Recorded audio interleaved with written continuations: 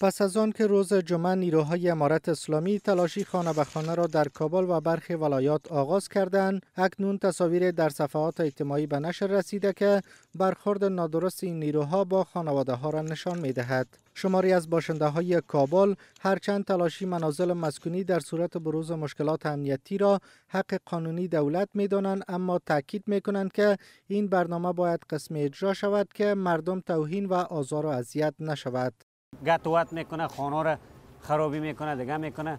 دیگه بیادر تلاشی شوه با حساب در فامیلا داخل میشه سیاسرا قدشان باشه تلاشی کنه ازار کرد. تلاشی بسیار چیز خوب است تلاشی ما بیادر خفگی نداریم. تلاشی خوب است قانونی سیاسر باشه خانه را صحیح تلاشی کنن گدوادی نکنن مردم اذیت آزار ندن. هرچند هنوز دقیق نیست که این برنامه تصفیوی تا چه زمان ادامه خواهد داشت اما در سی روز گذشته شمار زیادی از منازل مسکونی از سوی نیروهای امارت اسلامی در کابل و برخی ولایات دیگر مورد بازرسی قرار گرفته است. د غیر قانوني وسلو راټولول د دولتونو دندې وي. د غیر قانوني وسلو راټولول او انواع اقسام جنایي جرمونه د نظام ضد حرکتونه له منځه وړی د امارت د ابتکار د ستاینې دی او باید څه ولسونه د حرکتونه وستایي.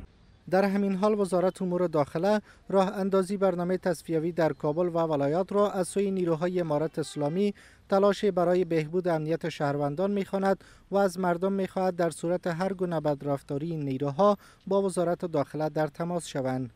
د اسلامي امارت مجاهدین هڅه کوي ترڅو هغه نظامی او غیر قانوني توکي چې له هغې نه د امنیت په ګډوډولو کې ګټه اخیستل کیږي راټول کړي.